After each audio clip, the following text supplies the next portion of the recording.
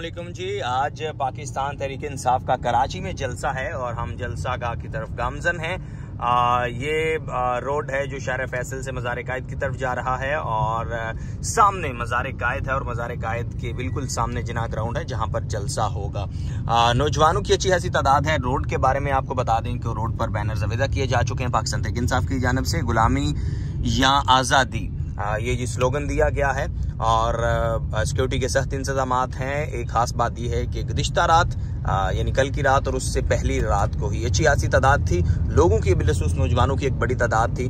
और ना सिर्फ़ कराची बल्कि दीगर शहरों से मुल्क भर से लोग इस जलसा में शिरकत के लिए आ रहे हैं। इसके बारे में अगर आपको बताऊँ जना ग्राउंड के हवाले से तो जना ग्राउंड जलसे के हवाले से इसलिए भी मशहूर है। यहाँ पर पहला जलसा पाकिस्तान तरीक इंसाफ ने दो ग्यारह में किया था। और इतने बड़े पावर शो का मुजाहरा किया था कि उसके बाद फिर दीगर पोलिटिकल पार्टीज़ ने भी इसको पोलिटिकल ग्राउंड के तौर पर इस्तेमाल करना शुरू किया।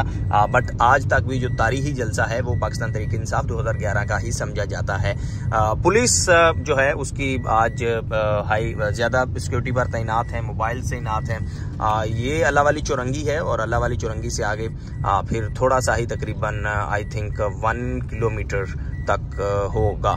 I think road is block and the containers are mention at the road oh good यहाँ से लेफ़्ट ले लें। और इससे आगे ये इन्होंने हैर अच्छा किया है चूँकि ट्रैफ़िक काफ़ी ज़्यादा होगी।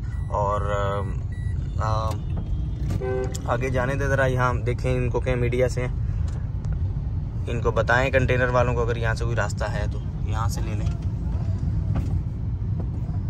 कंटेनर्स लगा दिए गए हैं और ये आप देख सकते हैं हैवी ट्रैफ़िक ट्रैफ़िक को तकरीबन बंद कर दिया गया है या डाइवर्ट कर दिया गया है यहाँ से।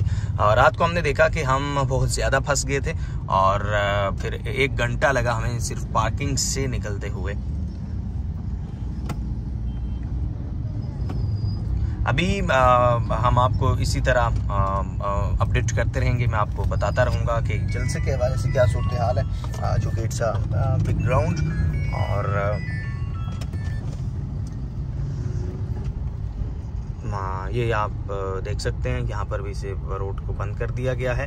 और, मेरे ख्याल से मोहसिन, हमें उस तरफ़ से जाना पड़ेगा फिर, ये तो रास्ता बंद है।